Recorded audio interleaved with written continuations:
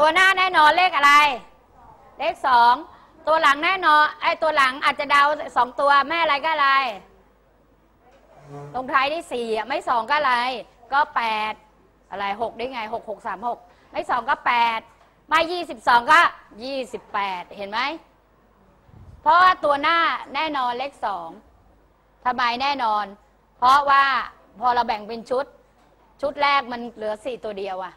ก็คือสองแน่นอน ตัวหลังไม่สองก็แปดเห็นไหม อ่าเท่าไหร่อ่ายี่สิบยี่สิบแปดเหรอ แน่ใจ แน่ใจนะยี่สิบแปดอ่าเห็นไหมพอเราแบ่งเป็นชุดเนี่ยนักเรียนจะเห็นง่ายเลย ตัวหน้าแน่นอนเลยเลขสองนะคะ เลขสองเพราะว่า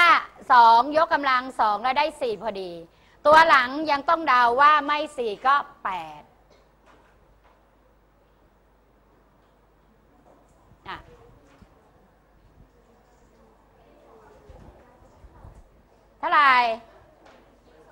ยี่สิบสองเพราะเอาว่ามา อธิบายให้ฟังเลยอะเอาส่งมาให้เพื่อนสิคะอ่าทำไมได้ยี่สิบสองเร็วค่ะ คนอื่นฟังด้วยนะเพื่อนบอกว่าสองยกกำลังสองมันได้สี่แล้วก็เอาสี่ไปลบสี่เพื่อนก็บอกงั้นใช่ไหมอ่าแล้วก็เอาต่อไปสี่ลบสี่ก็เหลือศูนย์ ดังนั้นตัวตั้งตัวใหม่ก็เอาชุดที่ 2 ลงมาคือ 84 84 จะเป็นตัวตั้งตัวใหม่ ตัวหารตัวใหม่ก็คือ 4 เหมือนกัน เพราะเอา 2 ไปคูณ ผลลัพธ์อะครูจะบอกผลลัพธ์ดีกว่านะคะ นักเรียนจะได้ไม่งง เอา 2 ไปคูณ 2 คือผลลัพธ์ก็ได้ 4 วิธีการง่าย ๆ เราบอกแล้วว่าลงท้ายด้วย 4 ไม่ 2 ก็ 8 วิธีการง่าย ๆ หาเลขถัดไปเอา4เนี่ยมาหารตัวหน้าก่อน 4 หาร 8 ก็น่าจะได้ 2 เพราะนั้นแสดงว่าตัวหารเนี่ยน่าจะเป็น 42 นะคะอ่าเพราะนั้นก็ใส่ 2 ผลลัพธ์ 1 ตัว ตัวหารอีก 1 ตัว เอา 2 ตัวผลลัพธ์ตัวสุดท้าย มาคูณ ตัวหารก็จะได้ 84 นะคะ ราะนั้นรากที่ 2 ของ 484 คือ 22 และลบ 22 แต่วิธีการเอาตัวหน้าเนี่ยเอา 4 มาหาร 8 เนี่ยวิธีการเอามาหารอย่างเงี้ยหารได้บางครั้งนะคะ บางครั้งก็ได้เลย บางครั้งก็ไม่ได้ บางครั้งถ้าไม่ได้ก็ต้องลดลงมานะคะ บางครั้งมันพอมันเอาไปหารแล้ว พอเอามาคูณแบบเนี้ยมันอาจจะเกินเราก็ต้องลดลงมา แต่นี่เป็นวิธีคิดวิธีแรกที่มันจะทำให้เราคิดได้รวดเร็ว อย่างกรณีนี้ได้เลยนะคะ บางกรณีก็ได้เลย บางตัวก็ไม่ได้ไม่ได้เราก็ต้องลดค่ามันลงมา ลดตัวมันลงมา มันไม่เสมอไปนะคะ แต่บอกวิธีการคิดให้มันจะได้ไวอะตัวหน้าแน่นอนเลขอะไรคะความจริงครูถามปุ๊บเนี่ยน่าจะตอบได้เลยนะตัวหน้าเนี่ยเลขอะไรสองเพราะสองสองสี่สามสาม เก้าสามใช้ไม่ได้แน่นอน ก็เป็นสองตัวหลังลงท้ายด้วยเลขอะไรคะ เลขเก้าไม่อะไรก็อะไร ไม่สามก็เจ็ดดังนั้นไม่ยี่สิบสามก็ยี่สิบเจ็ดอ้าว ตัวแรกได้สามละไอ้ตัวแรกได้อะไรนะสองโทษที อ่าได้เท่าไหร่ ตัวต่อไป เลขอะไร บักกี้ดาวไงไม่ยี่สิบสามก็ยี่สิบเจ็ดยี่อะไรคะนะคะเอาสี่ไปลบเจ็ดเหลือสามนะคะ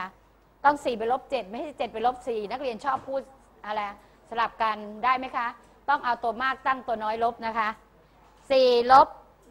นะคะไปลบออกจากเจ็ดเหลือสามต่อไปนำชุดที่สองลงมาก็คือยี่สิบเก้า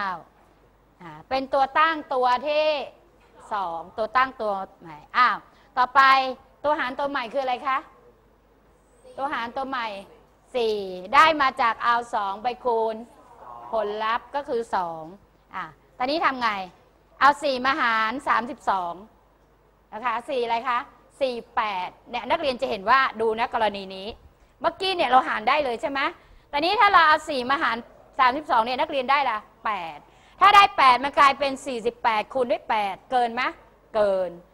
นะคะ เพราะ 88 เท่าไหร่คะ 64 ใส่ 4 เท่าไหร่ทด6นะแล้ว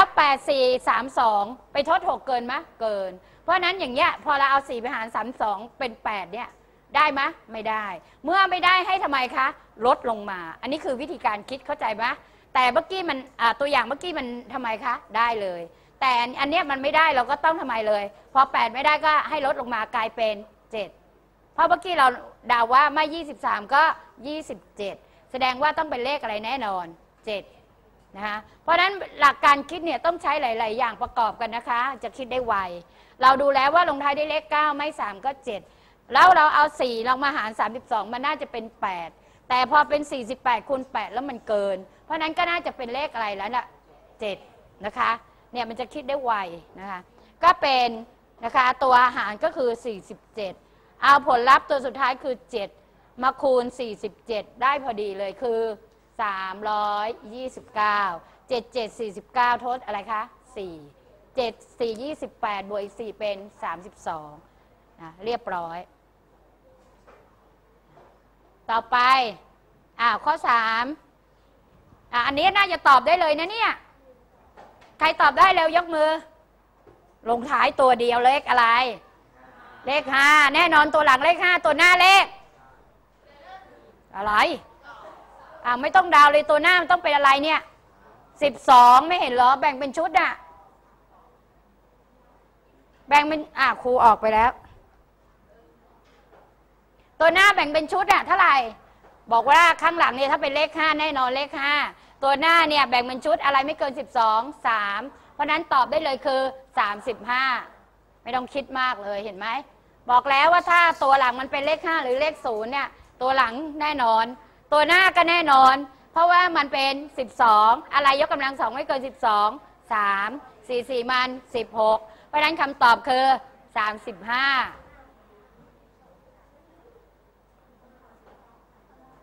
อะเห็นไหมหน้เลข ข้างหลังข้างหลังลงท้ายด้วย 5 มีตัวเดียว 5 ไม่ต้องคิดมากเลยใส่ได้เลยอันเนี้ยมันก็จะได้ 325คำตอบ